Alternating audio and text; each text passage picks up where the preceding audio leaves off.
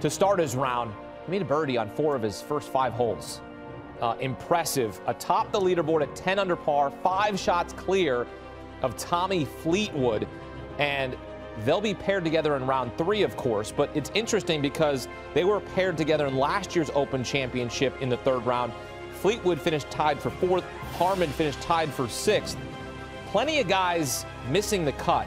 Some major champs like Phil Mickelson, Dustin Johnson, Collin Morikawa, and really most notably Justin Thomas, who has now missed two straight cuts at a major. Missed the cut at the Open, missed the cut at the Open Championship. He's actually missed the cut four of his last six events played, not having the season he hoped for.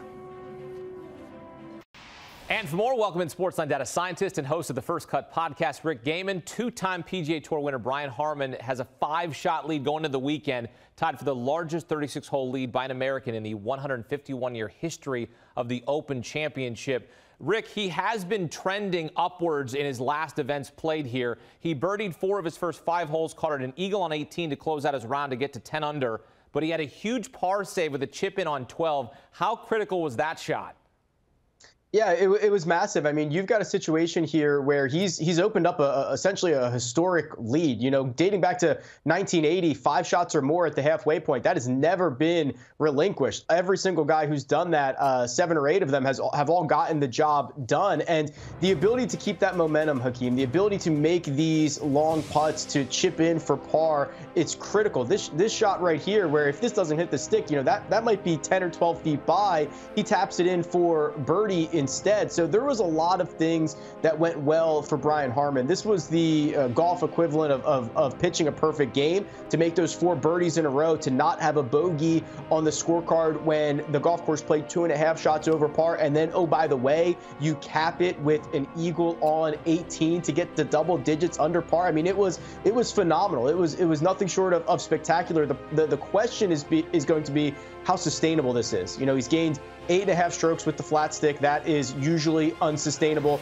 Uh, the chip in and, and the hitting the stick from greenside, stuff like that, usually doesn't happen multiple rounds in a row. And this golf course is probably only going to get more difficult and more penal. So uh, he is currently in kind of a historic spot at the halfway point of, of the Open Championship. It'll be interesting to see how he can keep that momentum going because it's going to be 26 hours from the time he tapped in uh, to end his second round until he tees off for his third round. It's a lot of time to think about holding a claret jug.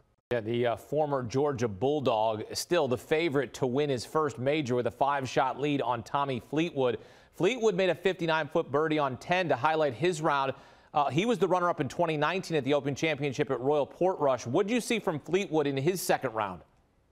Yeah, I was I was pretty impressed with the with the grit that that Tommy Fleetwood showed, especially coming down the stretch. He made a couple of really strong, solid putts on the last four or five holes of his round that kept him in this, as as in it as you can be, down five shots to somebody else. But he was able to kind of get up and down for par late a couple of times and keep himself in that final group. Remember, that's going to be critical. This is going to be a very pro Tommy Fleetwood crowd on the weekend in England, especially as he goes up uh, against it with with Brian Harman. So the fact that he's in the final group is, is going to be critical, and he did just enough to get himself into that position. I'll be interested to see if he can continue the the, the trend of great play that we've gotten from Tommy this year, and including you know uh, even in recent weeks. But we've seen him falter a bit, fade a bit on Sundays and Saturdays recently. This is the biggest spot of his life yet again, and we're going to see one more time if Tommy Fleetwood can uh, go in the right direction. Yeah, and uh, they'll be paired together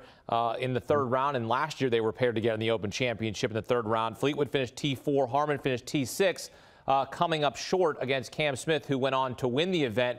Meantime, some some drama with the cut line. World number one Scottie Scheffler made a birdie at 18 to make the cut on the number, while last year's Open champ, as I mentioned, Cam Smith, carding an eagle on 18 to also make the cut. An incredible shot here, the approach shot this is, I mean, this is this is outside of going in. That's as awesome and as good as it gets.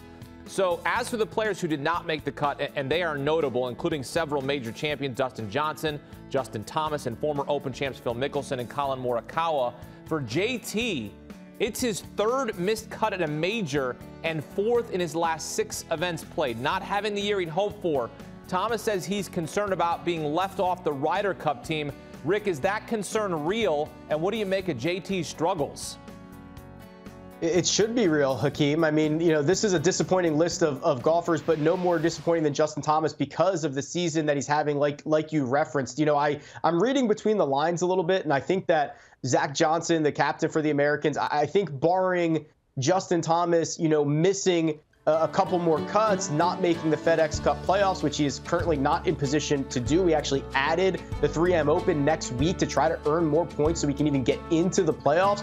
Barring Justin Thomas, you know, saying I'm removing myself from consideration, I think he's going to be on this Ryder Cup team. I don't think it's right. You know, you've got a situation where he's a, a top end player who has gone through the entire season without, you know, any mur- murmurs of, of, of injury or anything like that, and he's on the verge of missing the playoffs which is almost unheard of in our game. I think if he does indeed miss out on getting into the top 70 this year, there's no reason he should be on this Ryder Cup team. The Americans are, are absolutely stacked. They're brimming from every corner of the country for guys that can play on this team, but he's got a really solid pairing in Jordan Spieth. He's got a really good advocate in Captain Zach Johnson. It'll be an interesting development to see how the final two events of the year go for Justin Thomas and if he can extend that into a playoff run. And Rick, uh, certainly a tough year to miss the Ryder Cup that it's outside of Rome and Italy. I know these guys can travel wherever they want to travel on their own dime, but man, that'd be tough to miss out uh, to represent your country in Rome. It'd be a, quite a beautiful sight to see. We'll have to send you there